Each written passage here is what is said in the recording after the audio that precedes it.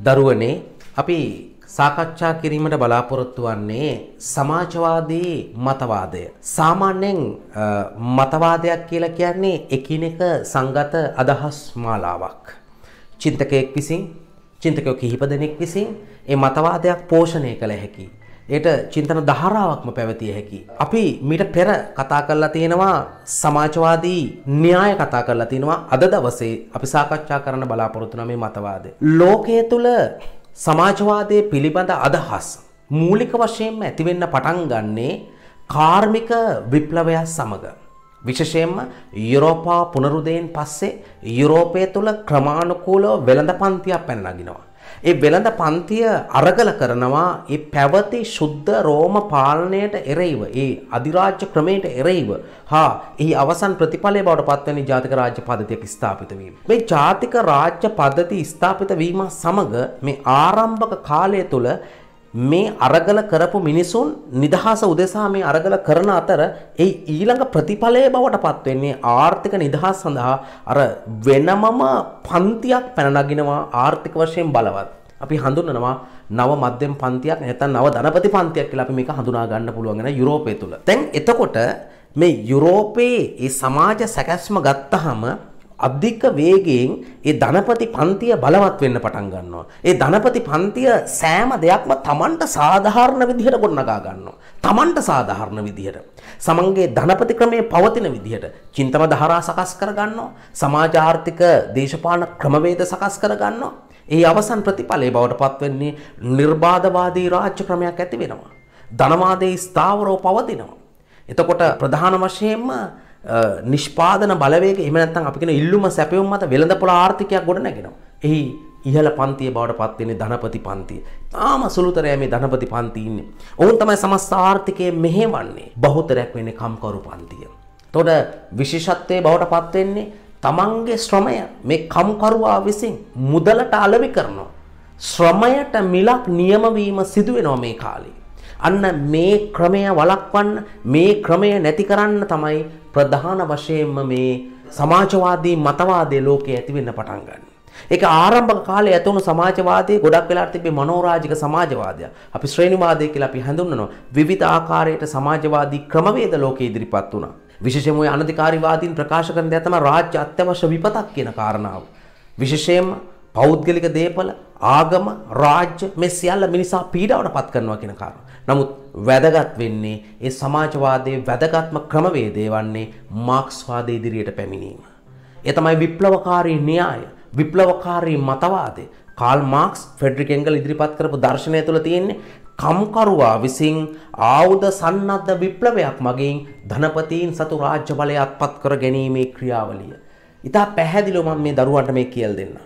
විශේෂයෙන්ම කාල් මාක්ස්ගේ දාස් කැපිටාල් කෘතිය ඒ වගේම කොමියුනිස්ට් ප්‍රකාශන මෙන්න මේවා හරහා ඉතා පැහැදිලිවම මේ සමාජයේ පවතින මේ ධනපතියා විසින් කම්කරුවා සූරාගෙන කෑමේ ක්‍රමවේදය එතකොට කම්කරුවා පීඩාවට පත්වන ආකාරය විග්‍රහ කරන විශේෂම ඓතිහාසික භෞතිකවාදය තුලින් මනා ලෙස මේ රාජ්‍ය ඇති වුණේ කොහොමද? රාජ්‍ය විකාශනය වුණේ කොහොමද? ඇති හැකි පන්තිය නැති බැරි පන්තිය සූරා කෑවේ කොහොමද කියන කාරණා මනා ලෙස හෙළිදරව් කරනවා.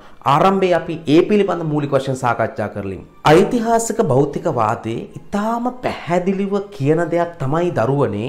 රාජ්‍ය ඇති වෙන්නේ දේපල බෙදී යාමේ විෂමතාවයේ මත. ඊළඟට රාජ්‍ය කියලා කියන්නේ ඇති හැකි පන්තිය විසින් නැති බැරි පන්තිය සූරා කෑම සඳහා පිහිට වූ ප්‍රජාපීඩක උපකරණයක්. එතකොට මේ ඓතිහාසික භෞතික වාදය තුළ සමාජයේ බෙදනවා ප්‍රධාන යුග හයකට.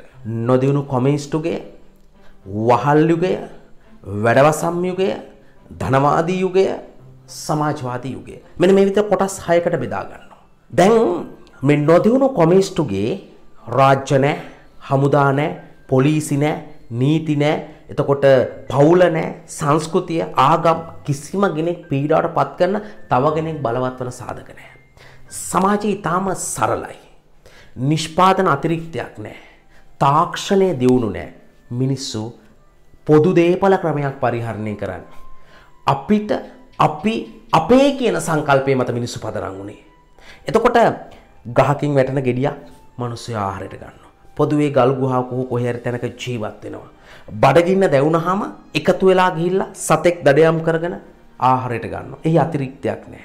හැබැයි කල් යනකොට තාක්ෂණය දියුණු වෙන්න ගත්තා. ක්‍රමානුකූලව තාක්ෂණය දියුණු වෙනවා. ඒක ඊළඟ ප්‍රතිඵලයේ බවට පත් වෙන්නේ මොකද්ද? තාක්ෂණයේ හිමි, ක්‍රමශිල්ප හිමි. තාක්ෂණය කියන්නේ යම් කිසි දෙයක් අපි හිතමු ගල් මෙවලමක් වෙන්න පුළුවන්. දුනු ඊතල වෙන්න පුළුවන්. ඒවා පාවිච්චි කිරීම තමයි ක්‍රමශිල්පය. ඒතර තාක්ෂණයේ හිමි, ක්‍රමශිල්පයේ හිමි එක්තරා පිරිසටක ප්‍රධාන වශයෙන් ආර්ථික සම්පත වැඩි වෙන්න පටන් ගත්තා. ඔවුන් බලවත් වෙන්න පටන් ගත්තා. නිෂ්පාදන අතිරික්ත ඇති වෙන්න පටන් ගත්තා. එහි ප්‍රතිඵලය බවට පත් වෙන්නේ නිෂ්පාදන හිමි සුළුතරයක් ගෝත්‍ර ඇති වෙනවා බහුතරයක් ගෝත්‍රවලට නිෂ්පාදන නැති වෙනවා. එහෙම නැත්නම් ඒ නිෂ්පාදන මාදිලිය නැති වෙනවා. දැන් ප්‍රධාන වශයෙන්ම මෙතන මේ දඩයම් කිරීම පමණක්ම නෙමෙයි කුෂිකර්මාන්තේ පවා අපිට ගත්ත හැකි. ඒ කියන්නේ ප්‍රධාන වශයෙන්ම අපි ගත්තාම ශාස්ත්‍රීය ඉඩම් වල වගා කරන අයගේ අස්වැන්න වැඩි වුණා. ඒ ශාස්ත්‍රීය ඉඩම් වල වගා කරන අයගේ අස්වැන්න වැඩි වෙනකොට උන්ට විශාල අස්වැන්නක් එනවා. අස්වැන්න අතිරික්තයක් ඇති වෙනවා. නමුත් බහුතරයක් පිරිසට ශාස්ත්‍රීය ඉඩකඩම් ලැබුණේ නැහැ. බහුතරයක් පිරිසට ඊටාම අපිටම කර්කශක ඉඩකඩම් හම්බ වෙන්නේ. එතකොට අර ශාස්ත්‍රීය ඉඩම් වල වැඩි අස්වැන්නක් ලැබෙන ඉඩම් වල ගංගා නිම්න ආශ්‍රිත ඉඩම් වල වගා කරන අයගේ අස්වැන්න වැඩි වුණා. ඕන් තමයි සමාජයේ බලවත් වෙන්නේ. එහෙනම් මේ හැම වෙලාවම මේ සම්පත් බෙදියාම් විෂමතාවයේ තියෙන. අපි හිතමු නැවත අපි යමු මේ ගෝත්‍රික කතාවට. එහෙම නැත්නම් මේ නොදිනු කොමෙස් ටුගේට. එතකොට මේ නිෂ්පාදන අතිරික්තයේ හිමි මේ සුළුතරයක් ගෝත්‍ර ඔවුන් ඇති හැකි පන්තිය ලෙස හඳුනනවා බහුතරයක් ගෝත්‍ර නැතිබැරි පන්ති වෙනවා. ඇති හැකි ගෝත්‍ර විසින් නැතිබැරි ගෝත්‍ර යටත් කිරීම නිසා සමාජ ක්‍රමය වෙනස් වුණා. කොතනට දෙන්නේ? වහල් යුගයට එන්නේ. ඒ වහල් යුගය තුල ප්‍රධාන ලක්ෂණය තමයි වහල් හිමි පන්තිය කියලා කොටසක් ඉන්නවා වහල්ලු කියලා පිරිසක් ඉන්නවා. එතකොට සුළුතරයක් වෙන්නේ වහල් හිමියෝ. බහුතරයක් වෙන්නේ වහල්ලු. වහල් හිමියා වහලව සූරම් කරනවා. වහලා ඊට විරුද්ධව නැගිටී කියන බය මත ඒ අරගල වැළැක්වීම සඳහා වහල් හිමියා විසින් රාජ්‍ය පිහිටුවා ගන්නවා. රාජ්‍ය, හමුදා, නීති, බන්ධනාගාර, උසාවි, ඒ වගේම සංස්කෘති, ආගම් සියල්ලම වහල් හිමියාට සේවය කරන්නේ. එහෙම නැත්නම් මේ කියන ඇති හැකි පන්තියට සේවය කරන්නේ. අන්න රාජ්‍ය දක්නට ලැබෙනවා. ආන් අර වහල් හිමියා රාජ්‍ය යොදා ගනිමින් වහලව සූරාගෙන කරනවා. මෙන්න මේ විදිහට තමයි ඒ රාජ්‍යයේ ආරම්භය සිදු වෙන්නේ. ඊළඟට වහලුන් වහල් හිමියන්ට විරුද්ධව අවිධිමත් අරගලයක් කරනවා. මෙන්න මේ අරගලයේ ප්‍රතිඵලයක් ලෙස ඊළඟට සමාජ ක්‍රමය වෙනස් වෙනවා. මේ අවිධිමත් අරගලයක්. ඒ අනුව වැඩවසම් ක්‍රමය ඇති වෙනවා. ඒ වැඩවසම් ක්‍රමේ රදල කියලා පන්තියක් ඉන්නවා. ප්‍රවේණිදාස කියලා පන්තියක් ඉන්නවා. සියලුම ඉඩකඩම් වල අයිතිය තියෙන රදලයට. ඒ රදලයා ඉඩම් තීරු වලට වෙන් කළා. ඒවැයි සාමාන්‍ය ජනතාවට වගා කරන් දුන්නා. ආන් ඒ පිරිස අපි හඳුන්වනවා ප්‍රවේණිදාසයෝ කියලා. එහෙනම් බහුතරයක් ඉන්නේ ප්‍රවේණිදාසයෝ. බහුතරයක් ඉන්නේ නැතිබරි පන්තිය. සුළුතර ඇති හැකි පන්ති ඉන්නේ. ඒ සුළුතරේ ඇති හැකි පන්තිය තමයි අපි හඳුනන රදලයා කියලා. රදලයා විසින් රාජ්‍ය බලය නීති හමුදා පොලිසි මේ සියල්ල යොදා ගනිමින් අර කියන ප්‍රවේණි දාසයව සූරං කරනවා. මේක අර්ධ වහල් ක්‍රමයක්. ඒ ප්‍රවේණි දාසයාගේ නැගී හිටීම වැළැක්වීම සඳහා තමයි අර රදල පන්තිය මේ රාජ්‍ය බලය පාවිච්චි කරන්නේ. ඊළඟට වෙන්නේ මොකද්ද? ප්‍රවේණි දාසයා විසින් අවිධිමත් අරගලයක් කරනවා මේ රදලයන්ට විරුද්ධව. ආන් සමාජ ක්‍රමය වෙනස් වෙනවා. වෙනස් වෙලා එනවා ධනවාදයට අවතීර්ණ වෙනවා. ධනවාදය තුල ඒ ධනවාදී යුගය තුල ධනපති පන්තිය කියලා පන්තියක් බලවත් වෙනවා. ඔවුන් සුළුතරයක්. ඔවුන් තමයි ඇති හැකි පන්තිය.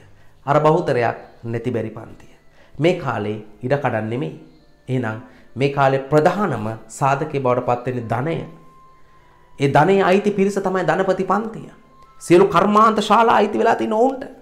ඒ කර්මාන්ත ශාලාවල බහුතරයක් වුණු අර කියන කම්කරුවෝ සේවය කරනවා. ඔවුන්ට සුළු වැටුපක් ගෙවනවා. ලෝක ඉතිහාසයේ පළවෙනි වතාවට ශ්‍රමය මුදලට විකිනෙනවා. මේක අපි හඳුන්වන අර්ධ වහල් ක්‍රමයක් කියලා. සුදු වහල් ක්‍රමයක් කියලා මේ ක්‍රමයක් අපි හඳුනා ගන්නවා. එතකොට කම්කරුවා දුකී ජීවිත පෙවතක් ගත කරන්නේ පතල් වල සති ගණන් වුන් වැඩ කරනවා. උන්ට ගෙවන්නේ තාම අඩු වැටුපක්. මේ ශ්‍රම සූරාකෑම. මෙන්න මීට විරුද්ධව තමයි මාක්ස්වාදී ප්‍රවේශය ඇති වෙන්නේ. ඒ තුල ඉතා පැහැදිලිව ප්‍රකාශ කරන දේ තමයි කම්කරුවා විසින් ආයුධ සන්නද්ධ විප්ලවයකින් ධනපතීන් සතු රාජ්‍ය බලය අත්පත් කර ගත යුතුයයි කියන කාරණාව. මාක්ස්වාද තුළ ඉතා පැහැදිලිව කියනවා. සමාජවාදී විප්ලවයේ සිදුවෙන්න නම් කම්කරුවා විසින් රාජ්‍ය බලය අල්ලා ගන්නටම් සාධක දෙකක් සම්පූර්ණ වෙන්න ඕනේ.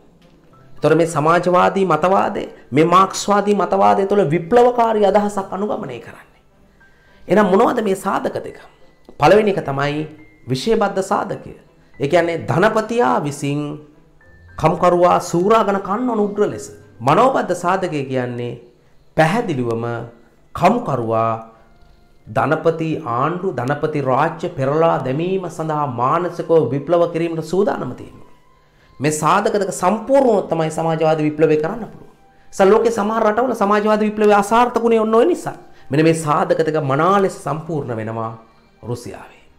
නිසා රුසියාවේ ආරම්භයේදී ගොවි කැරලි ආදී ඇති වුණා. කෙසේ වෙතත් 1917 වෙනකොට කමුකරුවන් ඉතා පැහැදිලිව ආයුධ සන්නද්ධ විප්ලවයක් මගින් ඒ ධනපතීන් සතු රාජ්‍ය බලයත් පත් කරගත්තා. ඒ අනුව සමාජවාදී සමාජ ක්‍රමය බිහි වෙනවා. ඒ සමාජවාදී සමාජ ක්‍රමය තුළ කමුකරුවා තමයි රාජ්‍ය බලය මෙහෙවන්නේ. කමුකරුවට තමයි සමස්ත රාජ්‍ය බලය අයිතිය තියෙන්නේ. නිෂ්පාදන මාදිලිය අයිතිය තියෙන්නේ. ඒ ධනපති පන්තිය තාමත් සම්පූර්ණ විනාශ වෙලා නැහැ. රුසියාව තුළ සමාජවාදය තිබ්බට අවට රටවල් තියෙන ධනවාදය. අනිත් එක තමයි විචාරකයෝ ප්‍රකාශ කරන දෙයක් තමයි රුසියාවේ ඇත්ත වශයෙන්ම ධනපති ක්‍රමයක් නෙමෙයි පෙරලා දෙමුයි කියලා. රුසියාව පරිවර්තනය වෙමින් ගමන් කළේ ධනවාදයට. ඒ වෙනකොටත් රුසියාවේ වැඩවසම් ක්‍රමවේදයක් තිබුණේ. නිසා සැබෑ කමුකරු පන්තියක් සැබෑ ධනපති පන්තියක් රුසියාව තුළ හිටියේ නැහැ. ඒ කියන්නේ ධනවාදයේ අත්දැකීම් රුසියානු සමාජය තුළ තිබුණ නෑ කියන කාරණාව. ඒ අපිට පැහැදිලිනවා පසු කාල රුසියාව බිඳවැටීමේ ක්‍රියාවලියත් එක්ක. කෙසේ වෙතත් ලෙනින්ගේ නායකත්වයෙන් රුසියාව ප්‍රධාන සමාජවාදී රාජ්‍ය සමාජවාදී බල කඳවුර බවට පත් වෙනවා. ඒ සමාජවාදී විප්ලවයේ ලෝකයේ අනිත් රටවල ව්‍යාප්ත වෙනවා. තවදුරටත් රාජ්‍ය පවත්වාගෙන යන්නේ කම්කරුවා පීඩාවට පත් කිරීමට නොවේ කම්කරුවා ආරක්ෂා කර ගැනීමට. සියලුම පොදු සේවා සියල්ල රාජ්‍ය සතුයි. ඒක පක්ෂ ක්‍රමයක් පවතින්නේ. විකල්ප මත දරන්න බෑ. සම්පකාර ක්‍රමයකට බහණ්ඩ හා සේවා බෙදා හරිනවා. කොමියුන ක්‍රමයකට නිෂ්පාදනය කරනවා. අවශ්‍යතාවයට අනුව හැම දෙනාටම හැකියාවට අනුව හැම දෙනාගම යන්න පදනම් වෙනවා. මෙන්න මේ විදිහට තමයි මේ සමාජවාදී මතවාදය ඉදිරිපත් කළේ කාල් මාක්ස්. ඒ කියපු විදිහටම ඒ රුසියාවේ කටයුතු සිදු වුණා. તો ලෝකේ හැම රටක්ම සමාජවාදී වූ විට මුළු ලෝකෙම දියුණු කොමියුනිස්ටුකයට යනවා කියන කාරණාව තමයි ප්‍රකාශ වෙන්නේ. ඒතර මේ යුග වෙන් කිරීම ඉතා පැහැදිලිව මාක්ස්වාදය තුළ සිදු කරලා තියෙනවා.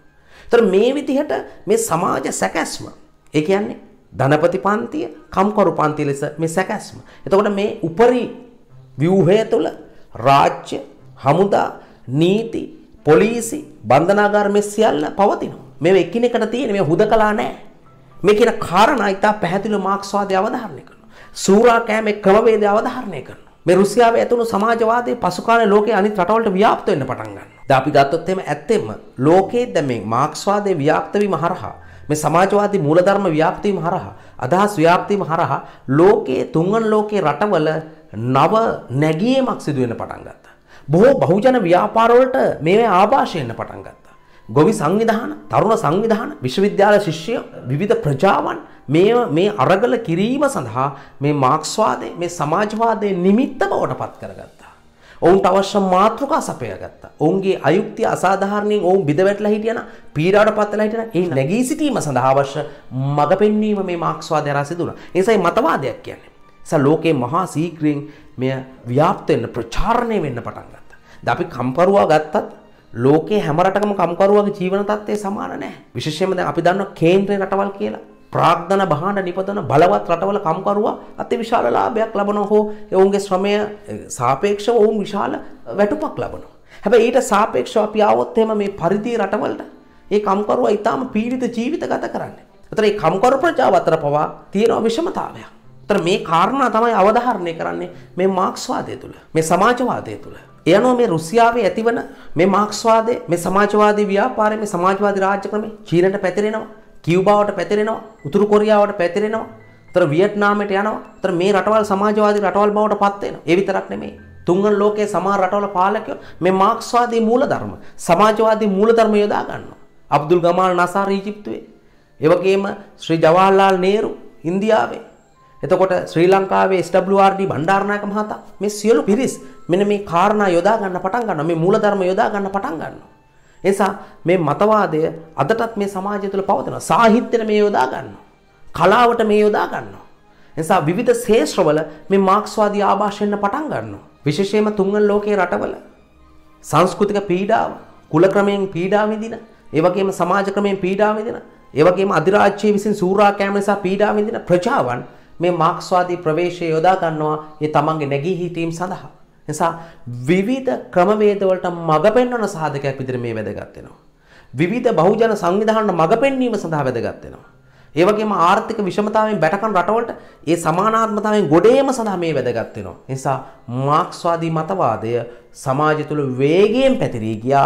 විශේෂයෙන්ම 1980 පමණ වන විට ඒ සමාජවාදී බල කඳවුරේ රුසියාවේ සෝවියට් රුසියන් සමූහ ආණ්ඩුවේ බිඳ වැටීම සන්තුවන් වෙන්න පටන් ගන්නවා. ඒකම මේ මාක්ස්වාදී අදහස් දුර්වල වෙන්න පටන් ගත්තා. නමුත් තවදුරටත් නව මාක්ස්වාදී අදහස් ඒ වගේම මාක්ස්වාදයේ සමහර අදහස් සමාජවාදයේ අදහස් අදටත් ලෝකයේ තුල පැතිරී යනවා විශේෂයෙන්ම අපි කියනවා බොහෝ රටවල මිශ්‍ර ආර්ථික පවත්වාගෙන යෑමේදී මේ මාක්ස්වාදී අදහස් යොදාගෙන තියෙනවා. සමාජ ප්‍රජාතන්ත්‍රවාදය කියලා අපි හඳුන්වනවා. ඒ කියන්නේ අද වන විට තියෙන සංකල්පය තමයි මේ සමාජවාදී අදහස් මාක්ස්වාදී අදහස් මේ යම් යම් රටවල් වල ඇති කරන නීති ප්‍රසංස්කරණ වලින් ව්‍යවසායක සම්මත කරන අනපනත් වලින් මේ මූලධර්ම ගෙන ආය හැකියයි කියන මූලික මතවාද අද වෙනට ඇති වෙලා තියෙනවා. ඒ නිසා මේ මඟ පෙන්වීම සඳහා මේ මාක්ස්වාදයේ බලපාලා තියෙනවා.